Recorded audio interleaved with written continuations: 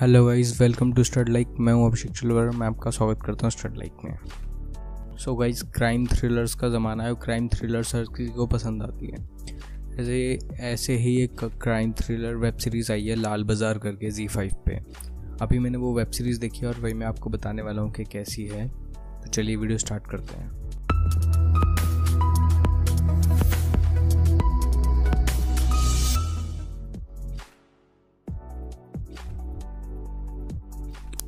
लाल बाज़ार। लाल बाज़ार टोटली दस एपिसोड की वेब सीरीज़ है और सारे के सारे एपिसोड ये कोई पैंतीस मिनट से चालीस मिनट के आसपास के हैं। और इसे आप देख सकते हो जी फाइव पे।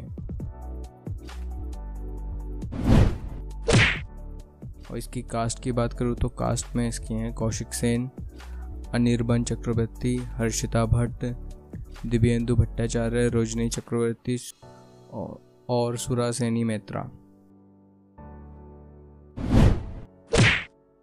अब बात कर लेते हैं इसकी स्टोरी की। तो स्टोरी इसकी कोलकाता पुलिस के बारे में है कि कोलकाता पुलिस काफ़ी सारे केसेस को सॉल्व कर रही है हर एपिसोड में मतलब अलग अलग केसेस और एक केस ऐसा है जो उनको फ़र्स्ट एपिसोड में आता है, लेकिन थोड़ा कन्फ्यूजिंग है तो वो लास्ट एपिसोड तक चलता है और उसका पूरा सस्पेंस है। एक सेक्स वर्कर का मर्डर हो जाता है और उसके पेट में एक बच्चा होता है।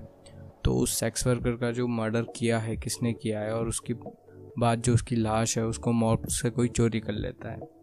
तो असली ट्विस्ट चोरी करने के बाद आता है और पुलिस का इंटरेस्ट उसमें और ज़्यादा बढ़ जाता है। तो उसको चोरी करने वाला और उसके लाश को चोरी करने वाला और उसका मर्डर करने वाला कौन है, यही पूरी वेब सीरीज़ का सस्पेंस है। और बीच बीच में जो छोटे मोटे केसेस आते हैं, उन्हें भी सॉल्व करते हैं वो। उन सब के भी छोटे मोटे सस्पेंस हैं। तो ओवरऑल कहा जाए तो जैसे क्राइम पेट्रोल में या सीआईडी में वो हर एपिसोड में एक केस सॉल्व करते हैं, वैसा ही कुछ सीन इसके अंदर भी है। और जो सेक्स वर्कर है, उसका मर्डर किसने किया है, ये सब जानने के लिए आपको ये पूरी वेब सीरीज़ देखनी पड़ेगी। इसे आप देख सकते हो जी फाइव पे। अब बात कर लेते हैं परफॉर्मेंसेस की। तो परफॉर्मेंसेस में सबसे पहले बात करते हैं कौशिक सेन की। कौशिक सेन बहुत ब्रिलियंट लगे हैं अपने रोल में। और उन्होंने जो एक्टिंग की है कहीं कहीं पे तो मुझे ऐसा लगा था कि वो कौशिक सेन नहीं, अजय देवगन है, सिंघम है अपना। क्योंकि वो कई जगह पे सिंघम लग रहे थे, अजय देवगन। और बाकी उन्होंने अपने काम को बखूबी अच्छे से किया और एक अच्छे पुलिस ऑफिसर का रोल बहुत अच्छे से किया है। सेकंड अनिर्बन चक्रवर्ती। इनका रोल जो है वो काफ़ी कॉमेडिक है और काफ़ी सारे कॉमिक सीन्स हैं इनके। जब भी ये किसी सीरियस सीन के अंदर में कॉमिक गैग डाल देते हैं तो बहुत हँसी आती है उस जगह पे और आपको जो उनके कॉमेडिक गैग्स हैं उन पर काफ़ी हँसी आएगी पूरी वेब सीरीज़ में। तीसरी जो एक्टर हैं वो है सौरा सेनी मेत्रा सोरा सेनी मैत्रा को मैंने पहली बार इस वेब सीरीज़ में देखा और ये पूरी वेब सीरीज़ की आई थिंक सबसे बेहतरीन एक्ट्रेस लगी मुझे। इनकी परफॉर्मेंस सबसे ज़ोरदार थी और सबसे ज़बरदस्त थी। स्पेशली जो हनी ट्रैप वाले दो सीन थे इनके, जिसमें ये हनी ट्रैप बन के गैंगस्टर्स को पकड़ने जाती हैं क्रिमिनल्स को पकड़ने जाती हैं, उस सीन्स में छा गई हैं और पूरी लाइमलाइट खुद ले गई हैं। आई होप इनको आगे चल के और अच्छा काम मिले और दोबारा से इनको देखने का मौका जल्दी मिले। मैं इनका फ़ैन बन चुका हूँ इस वेब सीरीज़ के बाद। और बाकी की जो सपोर्टिंग कास्ट है सपोर्टिंग कास्ट की बात करूँ तो सबने अच्छे से काम किया है। एक सपोर्टिंग कास्ट में एक एक्टर है जो शबीर अहमद का रोल कर रहा है इंस्पेक्टर शबीर अहमद। उन्होंने बहुत अच्छा काम किया है स्पेशली उनकी जो एक्टिंग है वो देखने लायक है और उसके बाद जो इसमें विलेन है, देवेंदु भट्टाचार्य। सच में वो रियली में एक कड़क विलेन लगे हैं और उनसे आपको सच में नफरत हो जाएगी, एक क्रूल विलेन जो बहुत ज़्यादा कठोर है, बहुत ज़्यादा कड़क है।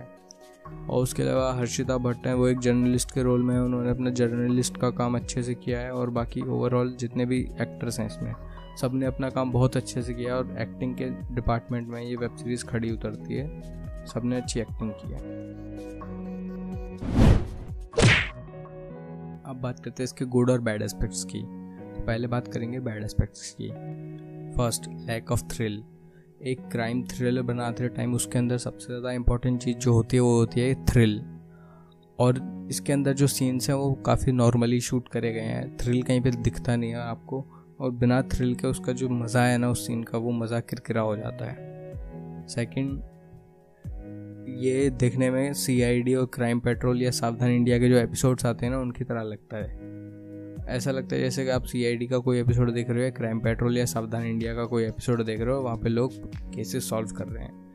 वेब सीरीज़ के लेवल पर इसको बनाने के लिए थोड़ी और मेहनत करने की ज़रूरत थी। और एक हल्की सी जो मुझे इसमें दिक्कत ली वो है कि ये जो डबिंग थी इसकी, वो डबिंग शायद ठीक से नहीं हुई है।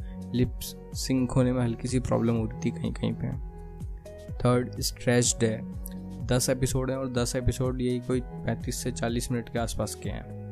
ये जो इसकी स्टोरी है, ये करीब करीब सात आठ एपिसोड में सिमट जानी चाहिए थी। दस एपिसोड की मेरे हिसाब से कहीं पे ज़रूरत थी नहीं। फालतू में इसको खींचा गया और उसे देख के फिर बोर होने लगते हैं।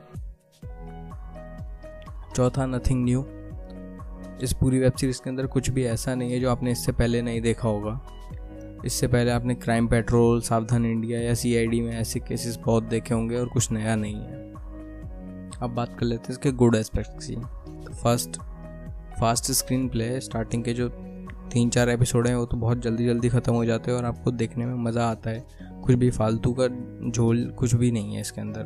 पॉइंट टू पॉइंट पूरे एपिसोड हैं सारे। सेकंड एक्टिंग बहुत अच्छी है। पूरी स्टार कास्ट की जो गुड एक्टिंग है, वो देखने को मिलेगी आपको। थर्ड कॉमिक गैग्स हैं। बहुत सारी सीरियस सिचुएशंस के बीच बीच में कुछ कॉमिक गैग्स हैं। जब भी वेब सीरीज़ थोड़ी सीरियस होने लगती है तो कोई ना कोई कॉमिक सीन आ जाता है मूड हल्का करने के लिए। नंबर फोर, जो कोलकाता सिटी है, उसको बहुत ही खूबसूरत तरीके से दिखाया गया है और उसके अंदर के जो लोकेशंस है कोलकाता सिटी की, वो काफ़ी सारी लोकेशंस को दिखाया है और बहुत अच्छे से शूट किया है। तो अब आते हैं कंक्लूजन पे।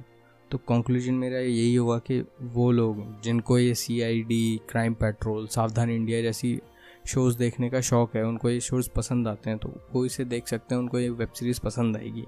बाकी अगर आपको बहुत ज़्यादा high suspense thriller type crimes thrillers पसंद है तो ये वेब सीरीज़ आपके लिए नहीं है, आपको पसंद नहीं आएगी। बाकी कहीं कहीं बीच बीच में काफ़ी अच्छी है सीरीज़ एक टाइम आप देख सकते हो उसे वन टाइम वॉच कहूँगा मैं। सो so गाइज़ ये था मेरा रिव्यू लाल बाज़ार। आई होप आपको वीडियो अच्छी लगी होगी, और अगर आपने वेब सीरीज़ देख ली तो आप क्या सोचते हो इसके बारे में? प्लीज़ कमेंट में बताओ मुझे। और अगर कोई सवाल या सुझाव हो आपके पास तो वो भी कमेंट में बोल सकते हो, मैं सारे कमेंट्स पढ़ता हूँ। और अगर आपको मेरा काम पसंद आया तो आप मुझे सपोर्ट कर सकते हो, सब्सक्राइब बटन को दबा कर या मुझे सोशल मीडिया पे फॉलो करके। आई प्रॉमिस मैं फॉलो बैक ज़रूर दूँगा, मुझे भी अच्छा लगता है आपको फॉलो करना। So guys this is Abhishek Chalwar signing off मिलता हूँ आपसे नेक्स्ट वीडियो में। Till then stay happy stay bless take care